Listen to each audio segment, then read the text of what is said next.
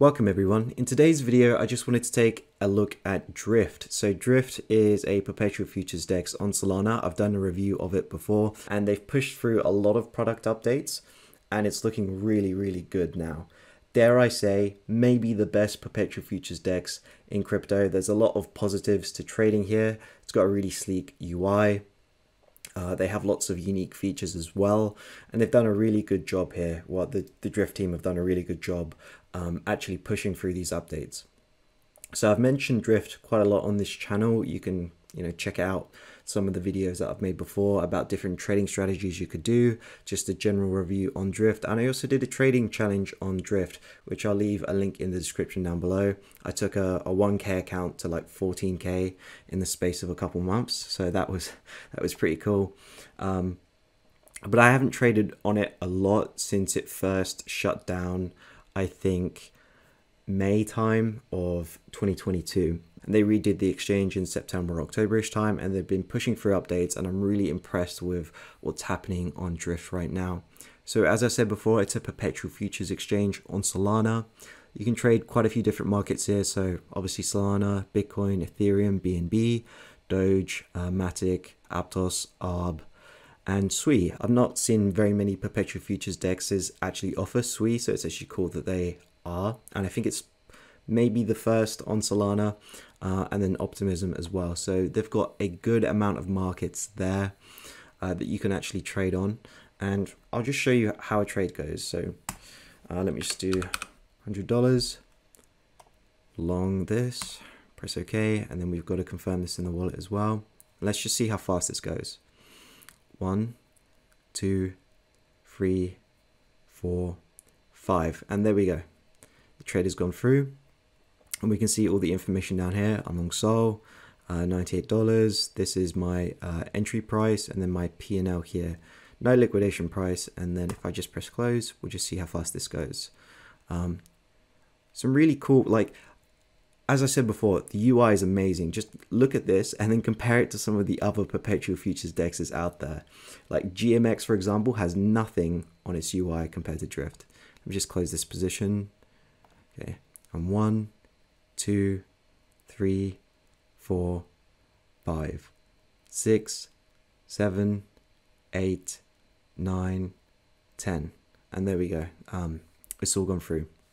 And so the unique thing with Drift as well is that you're not only just trading uh, against other people, so you're not PvPing against other people just doing that. You're actually trading against the uh, Drift AMM as well. And so they have that in place so you can actually trade against something and get your like positions filled. So if I go to trades, we can just take a look at what's happening. So when I went long on the Sol perp, we can see my counterparty, which is this person. And if I go into my, uh, when I closed the position, when I went short, we can see that part of it was filled by the Drift AMM and the other part was filled by uh, that person as well, who I, I'm assuming is a market maker and we can see my fee. And so in terms of fees, Drift is neither expensive or cheap. It's sort of in line with what we see in the industry. So uh, if we take Binance, for example, uh, if you're a regular trader there, you get a 0.1% fee. And that's the same here with Drift.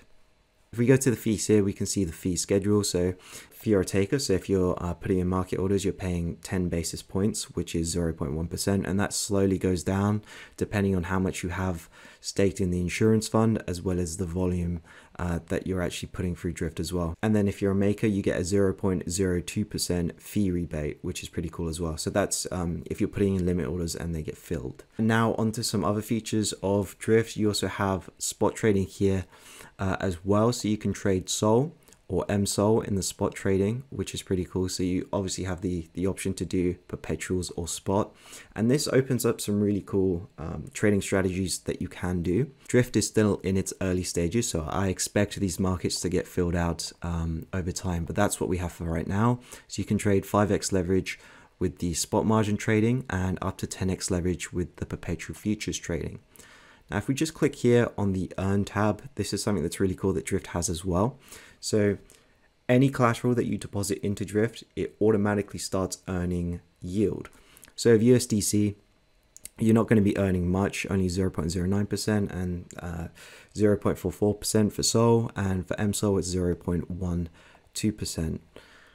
But it earns yield anyway, which is quite nice, um, and I do like that. Now, if we go into this other tab here, insurance fund staking, uh, we can see the insurance fund vault. So if you deposit USDC into this vault, you're getting 43.69% APR, but that does come with its risks.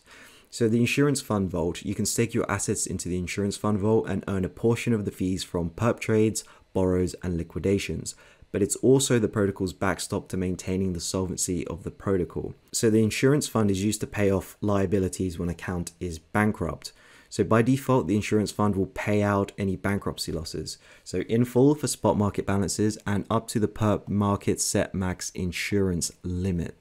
So when someone goes bankrupt, you'll have to pay out for that. And if we just go here onto bankruptcies, we can see the most recent bankruptcies that have actually happened. So, um, so someone got two thousand dollars in debt on their Sol perp, and when that happens, money is taken from the insurance account to fund that loss. So there is a risk associated when depositing into these insurance vaults, but if you're familiar with uh, GMX and the staking that they provide there, uh, when you put into liquidity pools, it's similar to that, and that's very popular. Uh, that's got like hundreds of millions of dollars in it. So, um, so I know for a lot of people it's not a problem, but if this is something that you're iffy on, then uh, perhaps you don't want to get into this vault. Another downside of it is that any money that is staked into these insurance vaults, they cannot be used as collateral. Uh, additionally, they have a 13 day unstaking cooling down period. So if you want to get your money out of that insurance vault, uh, you have to wait 13 days in order to do so. But saying that, this could be a, a decent place to do some stablecoin yield farming whilst we're in a bear market. Another functionality that Drift has is that you can use it as a money market. So you can deposit uh, different collateral into Drift, so uh, USDC Sol and MSOL, and then you can borrow against that, which is actually pretty cool. Um, I remember Mango Markets doing something similar to that, and so it's really cool that Drift has started to do this as well. So it turns Drift from just the perpetual futures dex into a sort of DeFi super app, which I find is really amazing. To just round off this video, I just wanted to talk about some of the pros and cons of trading on Drift. So the first pro I want to talk about is the sleek trading user interface. Uh, it's probably the most customizable out of any perpetual futures dex that I've seen so far. Um, so look, there's many different setups you can have here. The fact that you can have multiple charts here is like ridiculous as well. Because if you think about it, right, TradingView makes you pay for this, where it's for free on Drift. Um, so that's awesome. Of course, you got your your standard uh, symbols that you can add on, different candlestick bars um, and indicators as well. Uh, but yeah, I find it to be better in terms of customization uh, compared to something like DYDX, where it, it doesn't really have anywhere near as much. Now, another pro of trading on Drift as well is that the fees are on par with what you see in the industry. So it's actually similar to trading on Binance, as I've said before.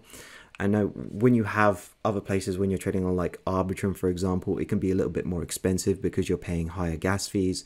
Whereas here, you're trading on Solana, um, fees are under a cent, so it's you know never really a problem.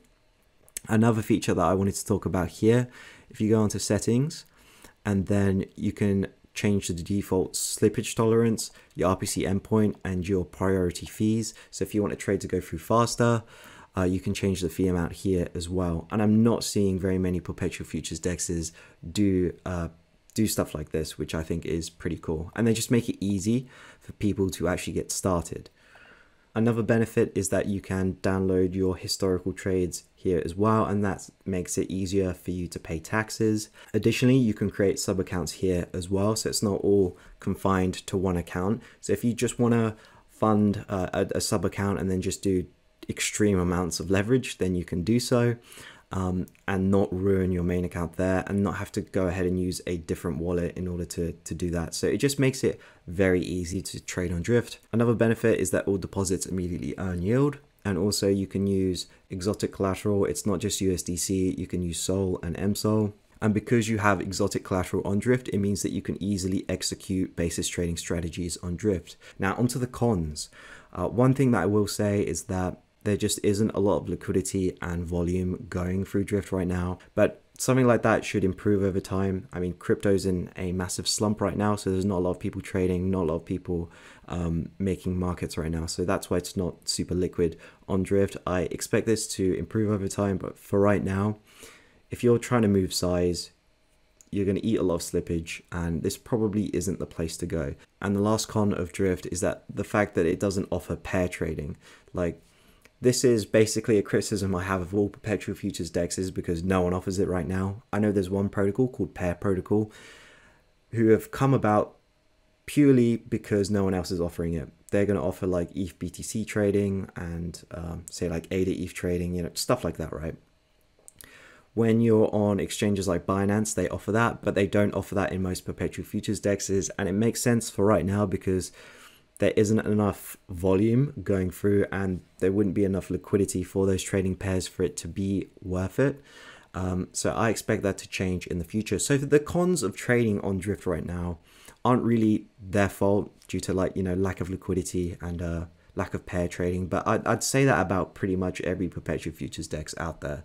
So I really recommend going ahead and checking out Drift if you haven't in a while. Um, if you're an avid Solana user, then definitely this should be the number one place to go. I hope you enjoyed this video. Thank you for watching and make sure to subscribe for more videos like this one.